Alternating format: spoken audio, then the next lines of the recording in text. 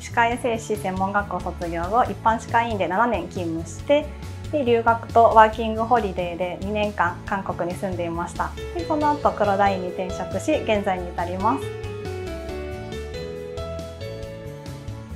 歯科衛生士が尊重されて主体となって働いているところが魅力的だったからです。できないことをバカにする人もいないしできないんだったら一緒に練習しよう。どうやったら上手になれるかっていうのを一緒になって考えてくれて本当になんか自分のために働いてるっていうスタッフはいなくってやっぱ人のために自分が何ができるのかっていうのを常に考えてそうですね優しいスタッフばっかりでそこが一番魅力だなと思ってます。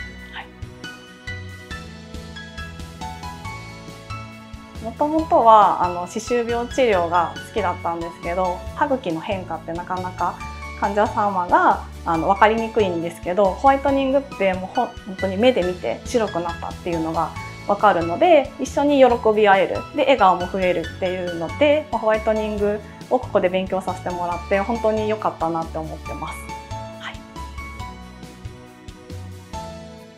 衛生士主体で働ける職場になったらすごくいいなと思うので、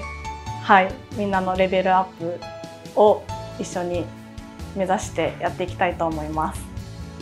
はい、何でもサポートしたいです。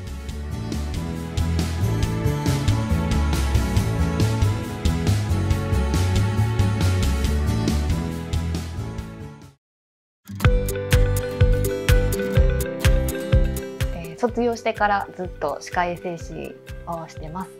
入社した決め手は見学に来た時のこう医院全体の雰囲気がすごい良かったのとあとは衛生士として保険の業務だけでなくこうホワイトエッセンスにも力を入れていてこういろんな業務に携われそうだなと思ったからです。今まで4件くらいの歯医者さんで働いたことがあったんですけどどこで働いても衛生士業務っていうのはあの大きくは変わらないだろうと思ってたんですが黒田歯科医院ではそれぞれ外来であったりホワイトエッセンスであったり仕事内容もいろいろ変化があったり勉強時間も取っていただけたり医院自体の目標がすごくしっかりしているのでいいと思いました。はい年齢層としては本当にもう20代から50代まで幅広いんですがもう皆さん前向きですごいチャレンジ精神の多い方が多いと思います。ホワイトエッセンス加盟店のためあの衛生士としてすごくレベルアップした勉強をすることができます。あと一人一人が同じ目標に向かって働くので年齢にかかわらず仲良く働けますしあとはあの淡路と神戸にも店舗がありますので毎日マンネリ化せず変化を楽しんで働くことができます私は子供がいてお迎えもあるのであのその辺も考慮していただいてシフトを組んでいただいていますのですごあのすごく助かっています。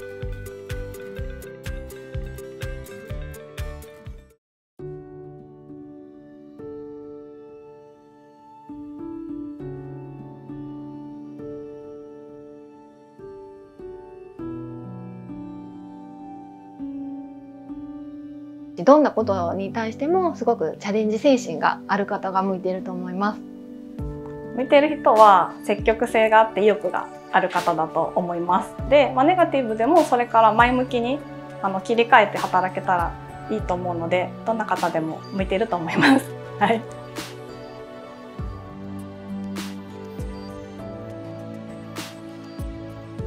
成長できる院です。すごく大きな家族っていう感じです。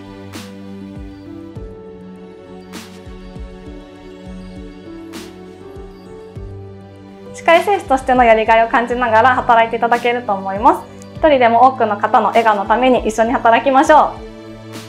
う。一緒に黒田歯科医院を盛り上げてくれる方、あのチャレンジ精神を持っている方、ぜひあの来ていただきたいです。お待ちしてます。